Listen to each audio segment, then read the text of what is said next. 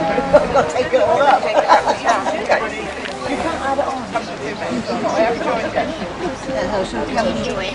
Lots of people out here this morning.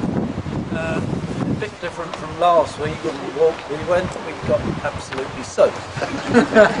Today we're going to get blown to bits, I suppose. Uh, there you go. Anyway, um, I'll leave you in the capable hands of our knowledgeable man of Westbury, Steve Hobbs, who will take all as we pass around the town. Thank you, Roy. Well, good morning, everyone. Um, I think the problem this week is actually you hearing me. Last week we were all very close together because it was all wet. We were sharing umbrellas. But this week, as, as Roy said, it's very windy and blowy. But please, you know, yeah, that, gather round closely if you can't hear or if, you, if you're finding difficulty, just just move in. I, I won't feel um, I won't feel intimidated, frightened or scared. Um, Keep it warm at Yes, yes, yeah, yeah. Um, I, I'm a resident of Westbury, so I do have a, a great interest in the history of the town, but I also work as an archivist at the History Centre at Chippenham, uh, the Wiltshire and Swindon History Centre, which is jointly run by Wiltshire Council and Swindon Borough Council. And it's a lot from the archive material and resources which we have at the History Centre that the knowledge that I've gained over the years, which I'm hoping to share with you today, um, has come from. So it's original archive material.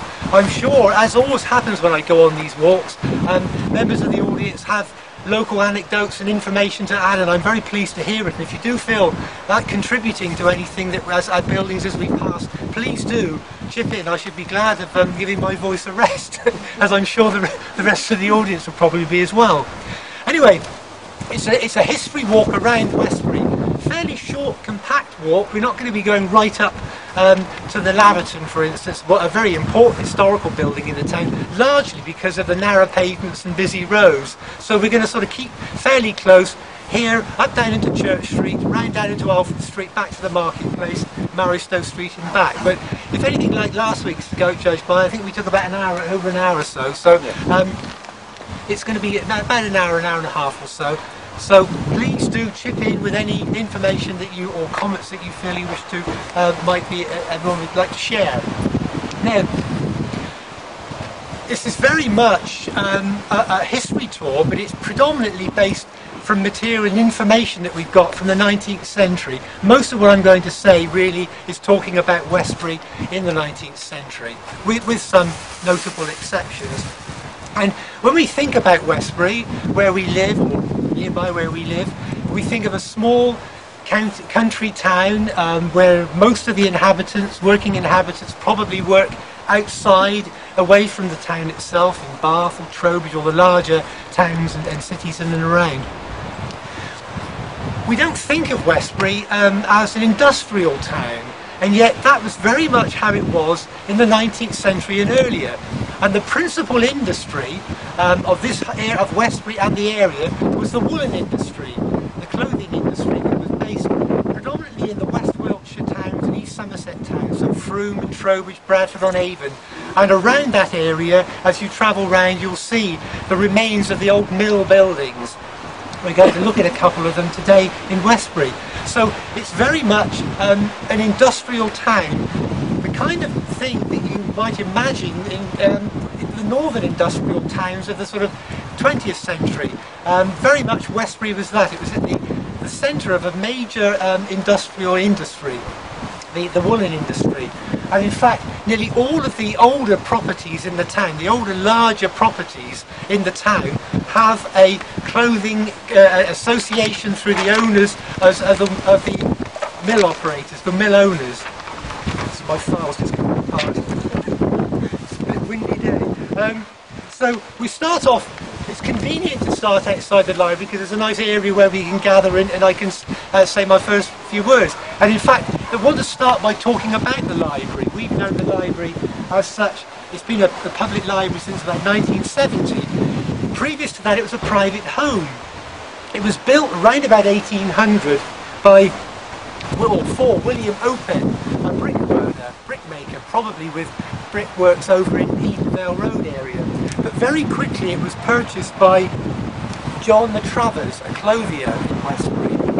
And it was Matravers who we'll talk, talk a little bit more about when we go up to the Angel Mill, because the Angel Mill was the mill which he built. And very typically, with the industrial situation, the industrial um, towns of the 19th, 18th, 19th century, um, the industrialists, the, the, the workers and owners worked hugger-mugger with the factories, near their workshops and factories. So here we've got the Westbury house, the house of the family, and at the bottom of the garden you can still see the vestiges of the garden with the planted trees and the grass going up the lawn there. At the bottom of the garden was the factory, and it's a very, very typical situation.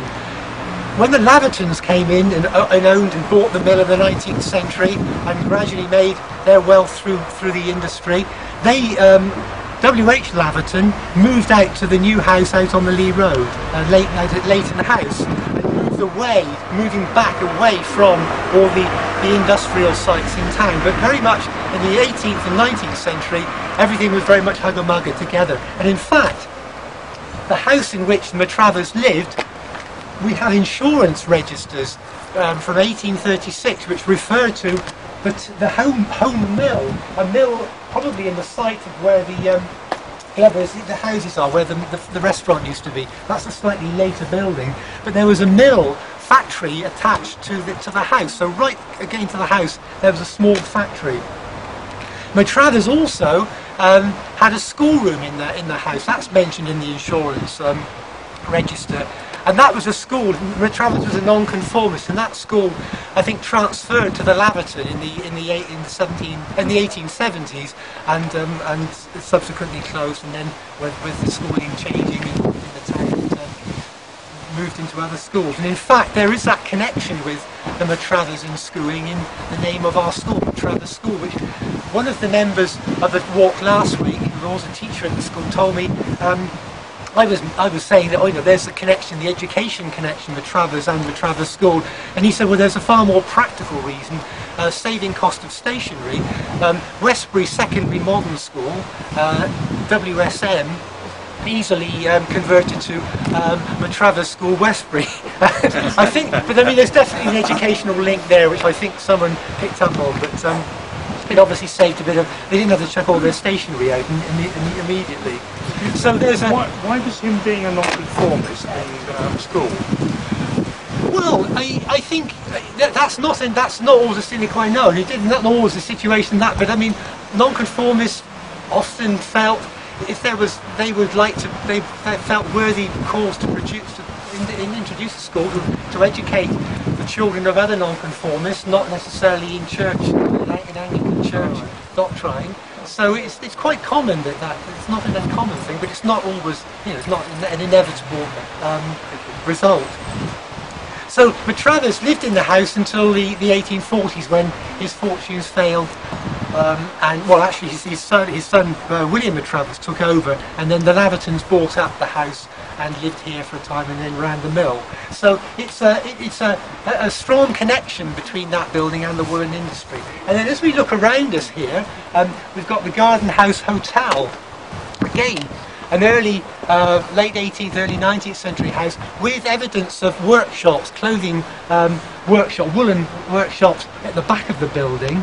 Um, there is um, a belief that, that, that's often expressed, that I've heard uh, repeated, that this was the house that was designed or intended to be the station master's house when the railway came to Westbury, but the railway people didn't want the railway in the town and therefore it never became such.